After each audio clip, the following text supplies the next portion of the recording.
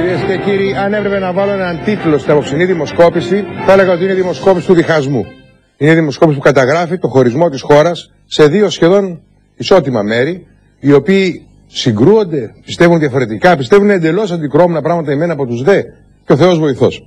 Θα κουβεντιάσουμε αυτή τη δημοσκόπηση αφού μας την παρουσιάσουμε βεβαίως. Είναι η δημοσκόπηση του μεγάλου διχασμού.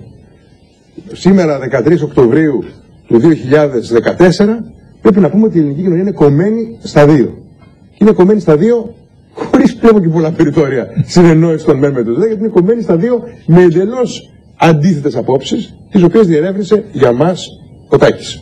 Θα πάμε παρακάτω. Η δημοσκόπηση έγινε από τις 9 ε, του μήνα μέχρι τις 13, δηλαδή μέχρι σήμερα το μεσημέρι, σε ένα αντιπροσωπευτικό πανελλαδικό δείγμα 1200 ε, ανθρώπων και νομίζω προφανώς την έκανε η GPO και μπορούμε να προχωρήσουμε να δούμε την πρώτη κάρτα κιόλας. Λοιπόν, η πρώτη ερώτηση είναι σήμερα σε σχέση με τον Ιούνιο του 2012 είστε περισσότερο αισιόδοξος ή απεσιόδοξος για το μέλλον της χώρας; Οι περισσότερο αισιόδοξοι είναι 35,3%, 58,3% περισσότερο απεσιόδοξοι και το 6,4% δεν μας απάντησε. Το επόμενο είναι ακριβώς η ίδια ερώτηση, αλλά δεν ρωτάμε πια για το μέλλον της χώρας, αλλά για το μέλλον το δικό τους, των ανθρώπων, το προσωπικό, 39,3%, άρα μεγαλύτερη αισιοδοξία εδώ, 56,4% περισσότερο απεσιόδοξοι, 4,3% να απαντάνε. Το επόμενο θέμα μας έχει σχέση με το πρόσωπο του Πρόεδρου της Δημοκρατία. Με τις πολιτικές εξελίξεις. Τώρα μπαίνουμε στις πολιτικές εξελίξεις. Μπαίνουμε στο πολιτικό μένου. Σε ό,τι αφορά λοιπόν τον Πρόεδρο της Δημοκρατίας.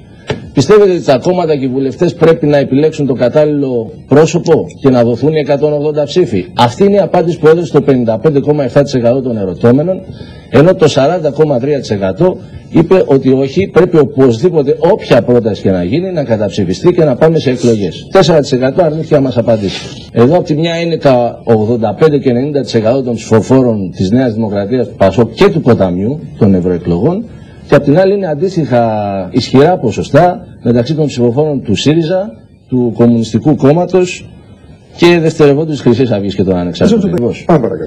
Λοιπόν, στην επόμενη ερώτησή μας, ο επόμενος πρόεδρος της Δημοκρατίας πιστεύετε ότι πρέπει να είναι ένα πολιτικό πρόσωπο, απάντησε το 24%. Ένα πρόσωπο που να μην προέρχεται από το χώρο της πολιτικής, απαντάει η πλειοψηφία. 62,4% και 13,6% δεν απαντά καθόλου. Αυτή η κάρτα έχει εξαιρετική σημασία γιατί είναι και το κλειδί με το οποίο θα ερμηνεύσουμε ε, άλλη μια ερώτηση παρακάτω που αφορά τις προορές εκλογές. Εδώ λοιπόν οι πολίτες με μεγάλη πλειοψηφία είναι υπέρ ενός προσώπου να μην προέρχεται από το χώρο της πολιτικής. Τα ποσοστά μέσα στα κόμματα είναι σχεδόν ίδια. Αυτό είναι, είναι το μόνο σημείο στο οποίο τα κόμματα ομονοούν δια της εσωτερικής τους αντίφασης. Δηλαδή, δηλαδή, τέμνει όλα τα κόμματα πολιτικό πρόσωπο. Δηλαδή, ψηφοφόροι της Νέας Δημοκρατίας που λένε όχι πολιτικό πρόσωπο. 60%. Του ΣΥΡΙΖΑ 60%. Του ΠΑΣΟΚ 56%. Του Ποταμιού 60%. Του Κουκουέ 60, της Χρυσής Αυγής 61 και του Ανεξάρτητου Ελλήνων 75. Εντυπωσιακό είναι. Η επόμενη ερώτηση είναι: Η αντιπολίτευση έχει ζητήσει την ανατροπή της κυβέρνησης και τη διενέργεια πρώων εκλογών. Συμφωνείτε ή διαφωνείτε με αυτή την πρόταση; Λοιπόν, με αυτή την πρόταση συμφωνεί το 45,9%. Δηλαδή να ανατραπεί η κυβέρνηση. Να ανατραπεί η κυβέρνηση και να πάμε σε πρόορες εκλογές και το 50,5% διαφωνεί. Εδώ λοιπόν έχουμε ένα. Μισούς μισούς. Α πούμε μισούς μισούς. λοιπόν, η επόμενη ερώτηση είναι αν είναι ο ΣΥΡΙΖΑ έτοιμος να κυβερνήσει. Ναι και μάλλον ναι απαντά το 36%, όχι μάλλον το 61,8%. Εδώ να, να υπενθυμίσω ότι στην τελευταία μας μέτρηση το Μάιο, πριν τις ευρωεκλογές, ήταν 27-71 αυτή η αριθμή. Άρα το ναι είναι έτοιμος να κυβερνήσει έχει ανέβει 9 μονάδες, μια πολύ σημαντική άνοδος μέσα σε 6 μήνες. Η επόμενη ερώτηση, ε, την διαπραγμάτευση για το χρέος της χώρας πρέπει να την κάνει η σημερινή κυβέρνηση, απαντά το 42,5%, μια κυβέρνηση που θα προκύψει από εκλογές, απαντά το 48,9%, αρνείται να απαντήσει το 8,6%. Όμως οι μισοί Έλληνες λένε όχι. Πρέπει να γίνουν εκλογές, πρέπει να γίνουν εκλογές, να δούμε ποια κυβέρνηση θα προκύψει και όποια προκύψει να αναλάβει αυτό το βάρη έργο. Επόμενη ερώτηση, η οποία είναι, πιστεύετε ότι ο κίνδυνος να βγει η Ελλάδα από την Ευρωζώνη έχει περάσει οριστικά; Και εδώ, εδώ είναι διχασμένη. Εδώ διχασμένη, αλλά υπάρχει Γιάννη μια ελαφρά πλειοψηφία πλέον. Ελαφρά. Η οποία έχει φύγει από εκείνον τον πολύ σκληρό φόβο του 2012 με τον οποίο είχαμε πάει στην κάλπη, ειδικά τη δεύτερη φορά 52,6 λέει ναι, ξεφύγαμε από αυτό. Αλλά και 41,2 λέει δεν έχει περάσει ο κίνδυνος. Εγώ πιστεύω θα είναι χαμηλότερο από το 41,2. Εγώ 70-30 το βλέπω αυτό να την κάναμε την ερώτηση. Στη συνέχεια, σε ό,τι αφορά το χρέος της χώρας, θεωρείτε ότι οι δανειστές της Ελλάδας μπορούν να διαγράψουν το μεγαλύτερο μέρος του χρέους της χώρας; ναι, πιστεύει το 54,1%.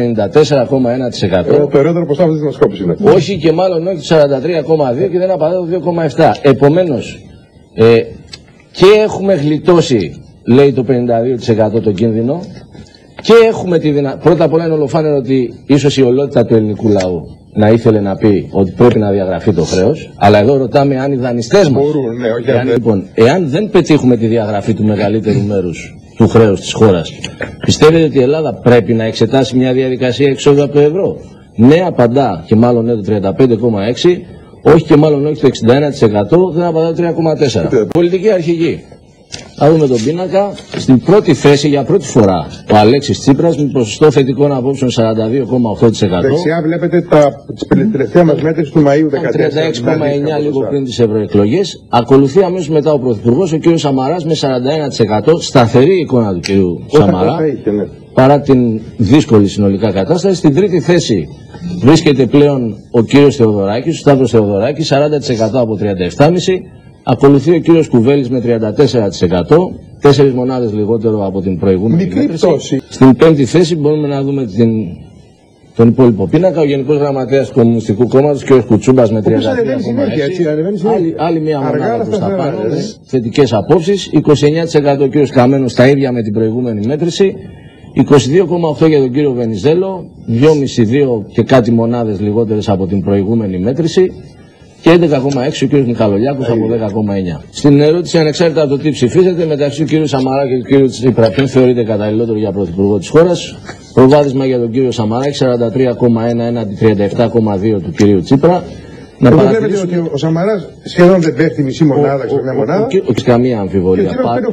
παρά τη φθορά της κυβέρνησης, παρά την αρνητική εικόνα, παρά τους συσχετισμούς, εκείνο κρατάει τα ποσοστά του. Εδώ υπάρχει επίσης ισχυρότατη άνοδος του κ. Τσίπρα, είναι 8,2 μονάδες από την προηγούμενη μέτρηση.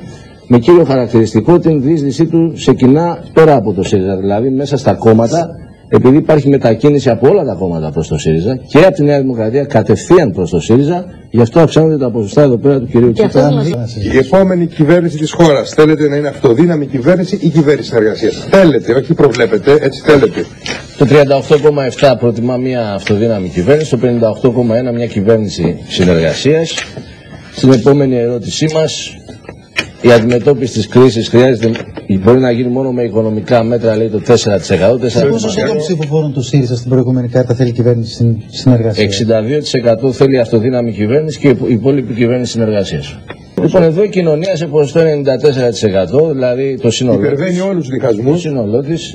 το πρόβλημα δεν είναι μόνο οικονομικό, λέει. Έχουμε πρόβλημα κοινωνίας, όπως το νοεί ο καθένας πολιτικό κλπ. Αυτό είναι εντυπωσιακή για μένα. Εδώ είναι το σημείο ενότητας που λέγαμε στην αρχή ότι υπάρχει σε ένα. Όταν μπαίνει το ερώτημα γενικόλογο όμως. Αν για να το δούμε όμως, για να δούμε συγκεκριμένα. Λοιπόν, το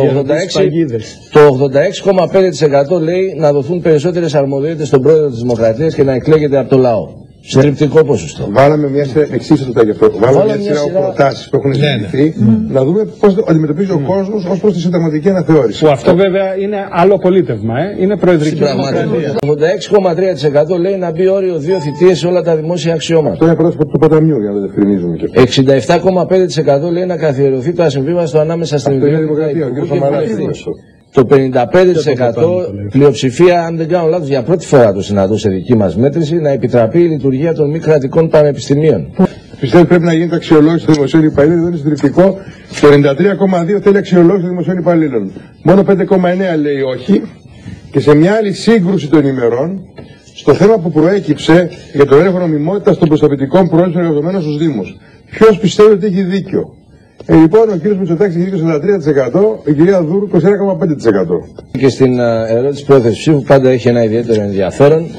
Πρώτο προβάδισμα για το ΣΥΡΙΖΑ 26,7% έναντι 20,2% της Νέας Δημοκρατίας. Άρα μια διαφορά 6,5 ποσοστό. Η μεγαλύτερη που έχουμε βρει ποτέ. Είναι η μεγαλύτερη διαφορά υπέρ του ΣΥΡΙΖΑ όλη αυτή την δημοσκοπική περίοδο μετά το 2012. Να διευκρινίσω ότι η διαφορά αυτή οφείλεται πρώτον σε πολύ μεγάλη σπήρωση του ΣΥΡΙΖΑ και κυρίως σε εισρωές που έχει από το σύνολο των πολιτικών κομμάτων και κατευθείαν από τη Νέα Δημοκρατία. Ενώ αντίθετα η Νέα Δημοκρατία είναι αρκετά αποσυσπηρωμένη παρά το ότι και εκείνη έχει εισρωές σχεδόν από όλα τα υπόλοιπα κόμματα. Έχει και η Νέα Δημοκρατία εισρωές, αλλά η συσπήρωσή της είναι πολύ πιο χαμηλή. Στην τρίτη θέση βρίσκεται το ποτάμι με 6%. Ακολουθεί το Κομμουνιστικό Κόμμα με 5,7% και η Χρυσή Αυγή με 5,7%. Το Πασόκ Δημοκρατική Παράταξη με 4%. Οι ανεξάρτητοι Έλληνες στο όριο με 3%. Λαϊκός Ορθόδοξος Συναγερμός 2,1%. Ανταρσία 1,6%. Άλλα κόμματα όπου κανένα δεν συγκέντρωνε όμως πάνω από 1%, 4,7%. Η Δημάρη εκεί είναι. Η Δημάρη είναι εκεί, κοντά στη μονάδα αλλά κάτω από τη μονάδα. Και Λευκάκι το 2,1 και δεν απαντά το 18,2%. Μάλιστα. Ε, πάμε να δούμε και τη βεβαιότητα Και η ψήφου. τελευταία μας ερώτηση αφορά τη βεβαιότητα της ψήφου. Πολύ σίγουρη είναι το 46,5%, αρκετά το 27%. Άρα εδώ πέρα αυτοί οι δύο αριθμοί μας αθροίζουν περίπου 73, 73,5%. Υψηλός αριθμός, ωστόσο, αφήνει περιθώριο 11,8 που λέει λίγο, 3,7 καθόλου και το 11% που είναι μέσα στους αναποφάσεις που επιμένει και δεν απαντά καθόλου.